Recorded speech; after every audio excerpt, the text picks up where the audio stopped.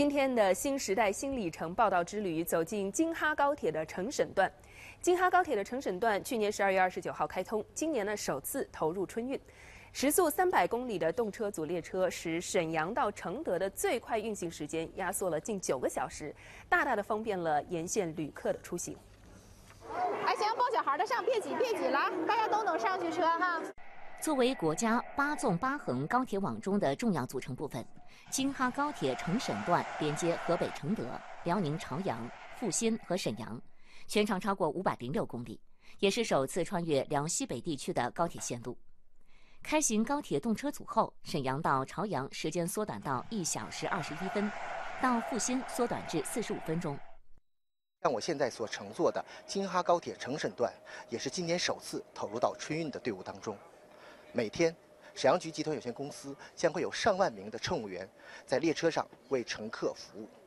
毛佳丽是东北地区第一批高铁乘务员，作为工作十一年的老兵，今年春运首次在这条年轻高铁上服务。十六节车厢，列车长加乘务员一共八个人，要服务一千多名乘客，检票、补票、收拾杂物等等工作环节一样都不能少。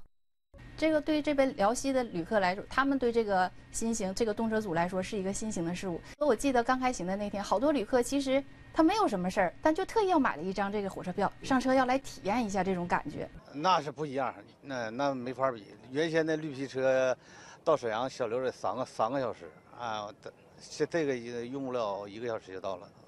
春运期间，沈阳铁路部门推出多项便民服务举措，带给乘客更好的旅途体验。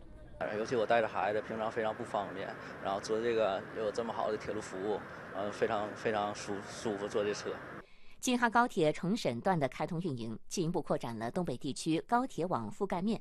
加快形成东西并举的进出关高铁通道，极大方便了沿线旅客出行。东方卫视记者辽宁报道。